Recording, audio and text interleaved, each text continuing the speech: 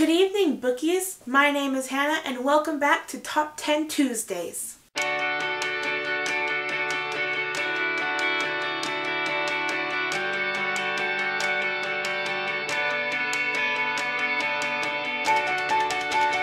Okay, so this is episode 2 of my new series, Top 10 Tuesdays, which of course will be coming out every Tuesday. And today's theme is Top 10 Series I Have Yet to Finish. Now, I'm being a little specific about these. Um, I think there's only one in my pile that I haven't finished because I haven't bought the second book or the third book. But the rest of them are I haven't finished because I just haven't wanted to. Like, um, I own the rest of the series, but I just haven't gotten the motivation to finish it. So, let's get started. So, the first book on this list is Divergent by Veronica Roth. I haven't finished this series. I started Insurgent a long time ago. I do own all of them. I just haven't wanted to finish it because I do know how Allegiant ends. I was spoiled for it and just I just didn't want to finish it after I was spoiled. I didn't feel like I needed to and when I was spoiled I was extremely disappointed and so I just I haven't picked them up yet and I don't know if I ever will. Number two, Daughter of Smoke and Bone by Laini Taylor. I have the next one of this series and my little sister loves this series and I think they're coming out with a movie or TV series for it. I did not like this book very much. I only bought the second one because it was kind of cheap and I thought maybe if I reread this book, maybe I'd want to pick it up again, but I really didn't like this book. There, like, I feel like as far as I remember, and it was a long time ago that I read this, there really wasn't a lot going on in this book. And, like, the ending was, the ending was pretty good, but other than that, it's not very memorable. I don't remember anything really that happened in this book. Next book. Number three, the Wrath and the Dawn by Renee Ahdieh. I have a reason I haven't picked up the second one because it's doing something in this book that I hate when they do this in series. I hate it to death. Is they actually like build up a relationship between two characters in the first book and it's amazing. And then the second book they split up the two characters for the whole second book. I don't know if that happens in the second book, but it seems like it does and I just have a lost interest. I don't want to read it if my two characters are split up. So I don't know, don't take my word for it, but just if they split them up, then I'm out. I don't want to read it anymore. Next book. Number four. Gone by Michael Grant. I don't own any of the other books. This was a great book. I read the second one of this book, but I never picked up the third one. And I picked up the second one at the end of my senior year. So by then it was like, oh, well, I can't pick up the third one because I'm out of high school now and I always forget what order they're in and they have the cover changes now. And I can't have the first one looking like this and the second one looking like this. Do you see my problem? But uh, hopefully one day I will pick these up again. Number five, The Lost Hero by Rick Riordan. I haven't read the Heroes of Olympus series yet. This is the only one I've read. I started on the second one. I've started on the second one twice now.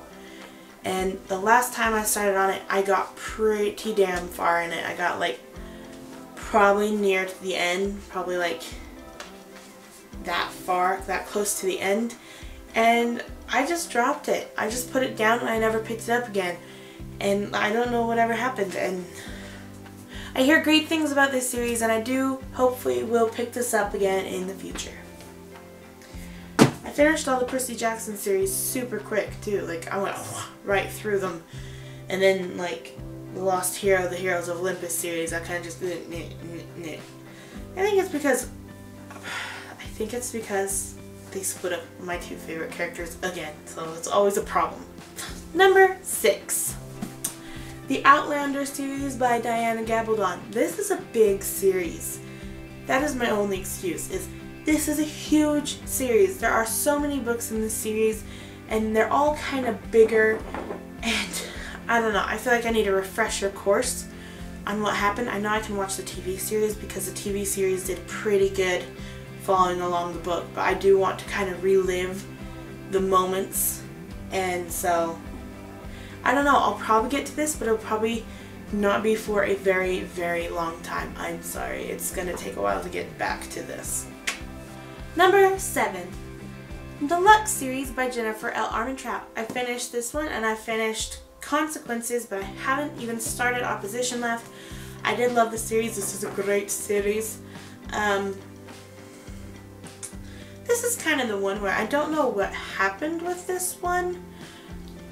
I finished, I finished Consequences, but I don't know why I didn't start Opposition. I owned it too. I owned all of them.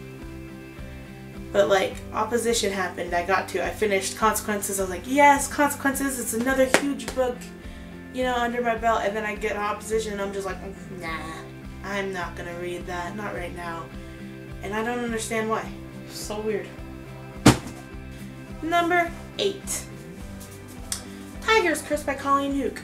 I read the first and the second. Uh, did I read the third? I did. I did read the third. Um, my sister owns all this. I don't own all of it, but she does, so I can read it anytime I want. And I love this series. I just don't know what happened. That's sad, because this is an amazing series, and I just didn't want to read it anymore. I think what happens is I finish one book, and then I have to wait a while for the next book, and I just don't feel like reading the next book, or I've forgotten everything that happens, and as I always say, I can't reread, so that's a really big problem. But if you want a good series, there you are. Mm, moving on. Number 9. The Cinder series, The Lunar Chronicles by Marissa Meyer. I finished Cinder, Scarlet, and Cress, and then I had to wait for winter. And Fairest did come out, and I did start reading Fairest, but I never finished Fairest. And so, what kind of happened is the same thing. Is there a tag in here? There's a tag in here. I didn't read it very well. Um, I like this series. I actually love this series, but I hate waiting between books. That's the thing that kills me. That's why I haven't started Lady Lady Midnight is because I know if I read Lady Midnight and then Lord of Shadows, I'm going to have to wait for Queen of Air and Darkness, and I'm never going to pick up Air and Darkness, and so I'm just waiting. I know it's probably irritating some of you because I haven't read Lady Midnight yet, but I will get to it, I promise. It, Queen of Air and Darkness should be coming out fall, so in like almost a year, but hopefully, hopefully I can just go right through those. And I know Cassandra Clare is coming out with something new, so hopefully I can read that too. And speaking of Cassandra Clare, we come to our number 10. Yeah, number 10. That is the Mortal Instruments series. I haven't finished the series. I've gotten to City of Lost Souls. I haven't read, I think I've read City of Lost Souls. I have read City of Lost Souls. I haven't read City of Heavenly Fire. But I did finish her Infernal Devices series. And so that's kind of good. But I haven't finished this. And so I don't know quite what's going on anymore. I do, I am going to reread these. I promise I will. I know I suck at rereading, but I'm going to do it. So yeah, hopefully. That is it for my 10 series I haven't finished yet. I will be getting to some of these soon. I promise I will finish them one day and then when I do this video again I'm going to have to think of all new answers which will not be hard. And that is it. I will see you guys in the next video. Rock on.